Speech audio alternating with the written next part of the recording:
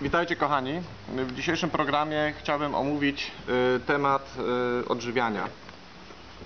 Otóż y, są dwa- rodzaje odżywiania. Jedno, rodzaj odżywiania jest spokojny w medytacji, w, relaksie, a drugi rodzaj odżywiania jest w stresie i byle szybciej, byle szybciej. A więc mam tutaj wypunktowane pewne takie dane, z których po prostu chciałbym Wam tutaj opowiedzieć kilka takich rzeczy bardzo istotnych na temat odżywiania i na temat naszego życia.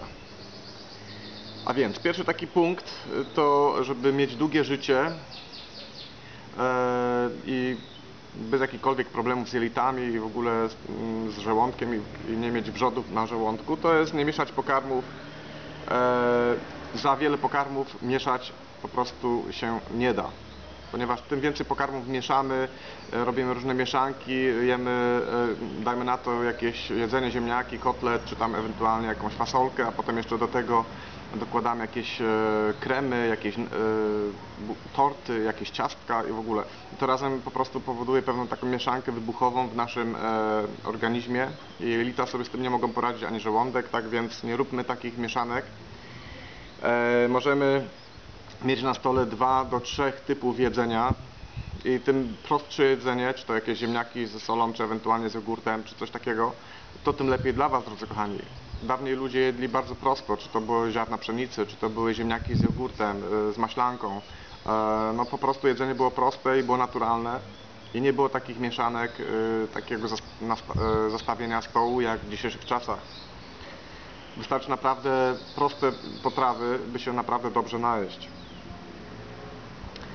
E, Jeżeli mieszamy te potrawy już, to potem żołądek i całe ciało jest e, za bardzo nad e, tym wszystkim obciążone i po prostu musimy mieć umiarkowanie, by jeść nie za dużo, nie za mało. Musimy jeść tyle, żeby jeszcze móc zjeść jeden talerz. Czyli po prostu nie przejadać się jednym słowem, po prostu nie przejadać się i to jest takie jakby e, taka informacja dla Was teraz przed świętami, żeby po prostu mieć e, to jakby wyliczone i mieć to jedzenie umiarkowane. Może być ono odżywcze, nie jeść tego za zbyt dużo, ale też nie przejadać się. E, Taki bardzo ciekawy system, który właśnie odkryłem e, niedawno, jak się odżywiać, żeby być zdrowym. To jest jedzenie, kiedy jest po prostu w południe, kiedy jest 12 godzina. To jeżeli jest słońce w zenicie, to po prostu energia słoneczna daje najwięcej energii temu jedzeniu. A jeszcze jeżeli to jedzenie jest wystawiane na słońce, to tym lepiej, drodzy kochani. Czy to jest mąka, przed upieczeniem chleba jest wystawiona na słońce, to ta mąka będzie miała właśnie tą energię słoneczną, która tak naprawdę, tą pranę, która będzie nam po prostu potrzebna czy robimy jakiś placek, czy robimy cokolwiek, jeżeli tą mąkę wystawimy, drodzy kochani, na słońce, po, przed zrobieniem tego, tego placka, no to po prostu będzie miała tą energię, która tak naprawdę nam, ludziom jest potrzebna. A drugi taki punkt y, do odżywiania się to jest przed zachodem słońca. Dodam, że pierwszy punkt to jest w zenicie, jeżeli słońce jest 12 godzina w południe, a drugi, y, drugi taki posiłek możemy sobie organizować e, przed pójściem spać, czyli kiedy słońce już zachodzi. No to w ten czas jest dobry taki moment, żeby zjeść też jakiś posiłek. Oczywiście posiłki przed pójściem spać nie mogą być kopiaste, czyli obfite. Obfity posiłek to jemy właśnie w południe, a ten taki a więcej y, light y, posiłek to jemy właśnie na noc przed snem, żeby nie mieć jakichś koszmarów, żeby nie mieć jakichś snów takich koszmarnych, bo wielokrotnie ludzie mi się skarżą, że mają koszmarne sny, bo pracują, pracują, pracują, cały dzień pracują, potem przychodzą do domu, do lodówki, do, do kuchni i naje się, naje, naje się wszystkiego, y, co najlepsze, wszystkiego, co jest dobre, wszystko, co jest pożywcze i to jeszcze w tempie, y, w stresie i y, jak najszybciej, byle po prostu się najeść, a potem iść do swoich zajęć, ewentualnie do, do komputera czy do, do swoich innych zajęć. Także jeżeli, jeżeli będziecie odżywiać się w spokoju, jeżeli będziecie mieć atmosferę medytacji, atmosferę mm, takiego po prostu spokoju, no to będzie to jedzenie y, przyswojone przez organizm. Jeżeli jesteśmy e, w stresie, te, te kawałki jedzenia nie są zbyt dobrze pogryzione, prze, prze, przemieszane z naszą śliną, no to po, po prostu to jedzenie nie będzie tak przyswojone jak jedzenie, które jest jedzenie y, jedzone w spokoju, bez stresu, bez nerwów, to jedzenie będzie już y, lepiej przyswojone przez orga- organizm. Wa- Ważnym takim punktem jest rozgryzanie cząstek pokarmu, żeby po prostu je dobrze przegryźć, dobrze y, rozdrobnić y, w naszej buzi, bo jeżeli tak nie jest, to potem to idzie do naszego żołądka i żołądek ma z tym problem. To trzeba po prostu odpowiednio rozcięcić ze śliną. Ponieważ musicie wiedzieć, że ciało jest świątynią, świątynią Boga i musicie sobie z tego zdać sprawę. Nie można po prostu tym ciałem e, robić jakikolwiek e, głupot, tylko po prostu to ciało, które już zostaliśmy materialne, musimy jak w jakiś tam sposób szanować. E, Jeżeli jesteście smutni, jeżeli nie macie pragnienia jeść, a jecie mimo wszystko, jeżeli macie jakiś smutek wewnętrzny, jakąś depresję, yy, jakieś, jesteście po przejściach, yy, jesteście nerwowi, jesteście dokładnie w stresie i w tym momencie, jeżeli zjecie jakikolwiek po- posiłek, jakikolwiek pokarm, to ten pokarm, pokarm, drodzy kochani, musicie wiedzieć dokładnie, że przetworzy się w truciznę dla, wasz, dla waszego organizmu. Także nie jest zalecane mm, spożywanie jakichkolwiek potraw, jeżeli jesteście w stresie lub jesteście nerwowi lub macie smutek lub depresję. To jest po prostu czysta trucizna.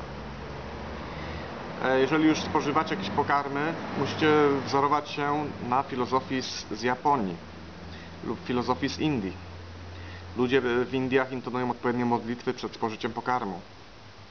Sinarayana Govinde, Rama Krishna Govinde, Govinde Govinde Gore, Prema Pradaya Tapavote, Hare Krishna Hare Krishna, Krishna Krishna Hare Hare i tak dalej, i tak dalej. To jest właśnie taka modlitwa z Indii, którą się intonuje przed spożyciem pokarmu i ta energia, która idzie z tej mantry, ona po prostu powoduje dobre przyswojenie się danego pokarmu. Musimy się pewnych rzeczy po prostu nauczyć. Również oddziaływanie złych myśli w momencie spożywania pokarmu jest tak silne, że przerzuca się to wszystko na, na pokarm, na, na cały system trawienny. Dlatego, drodzy kochani, również tutaj chciałem dodać trzy grosze ode mnie z moich obserwacji. To jest dla Was prywatnie. Każda osoba, która gotuje w restauracji chińskiej czy jakiejkolwiek innej restauracji, czy dotyka masy pizzy, a ma zły humor, ma złe sentymenty, ma złe energie, to drodzy kochani, te wszystkie złe energie wchodzą w tą pizzę, te wszystkie złe energie w restauracji chińskiej, ewentualnie jeżeli ma kucharz zły humor, to wszystko wchodzi w ten ryż i w te, warzywa. Także drodzy kochani, musicie wiedzieć, że najlepiej zrobić po prostu jedzenie samemu, z dobrą świadomością oczywiście. Jeżeli mamy złą świadomość, to lepiej nie brać się za gotowanie, bo to nie ma sensu. E, Jeżeli ofiarowujecie to jedzenie na wyższe sobie Boga przed spożyciem, to tym lepiej dla Was. Jeżeli- to jest wegetariańskie jedzenie nieofiarowane, no możecie też takie zjeść. Ale jeżeli jedzenie w restauracji jest przygotowane przez kucharza, który jest w jakiejś chińskiej restauracji, indyjskiej czy jakiejkolwiek innej i ma zły humor, ma depresję, ma złe energie w rękach, no to po prostu to jedzenie, mimo że będzie wykwintne, będzie, mimo że będzie pięknie wyglądało, po prostu będzie miało denne energię, bardzo niskie energie, niskie bobisy. I tak naprawdę nie nasyci naszego ciała eterycznego, naszego ciała energetycznego, nie nasyci żadną pozytywną energią, a wręcz przeciwnie. Smutek i depresja tego pana, który gotował, czyli tego kucharza, przejdzie na nas, drodzy kochani. Jego sentymenty, jego pasje, jego e, różne uczucia, które ma w momencie gotowania, to wszystko na nas, drodzy kochani, przejdzie. Dlatego ja nie chodzę wielokrotnie do restauracji, by się tam najadać, ponieważ wiem e, wielokrotnie jaki jest stan e, mentalny i świadomość tych kucharzy. Wielokrotnie możliwe, że gotują e, wegetariańskie potrawy, ale wielokrotnie, wielokrotnie muszą wziąć nóż i zabić rybę, czy zabić jakikolwiek langostę, czy jakiegokolwiek innego zwierzaka, żeby go wrzucić potem do gara. Także drodzy kochani, ja kontroluję mniej więcej to, co jem ponieważ nie tylko tu chodzi o świadomość i o energie negatywne, które są w jedzeniu.